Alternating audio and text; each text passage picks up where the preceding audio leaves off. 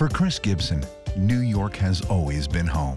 That's why Chris works so hard for common sense solutions that put us first. He's focused on good paying jobs, a healthy economy, and a better future for our kids and grandkids. Chris is someone who knows leadership means working across the aisle and thinking independently.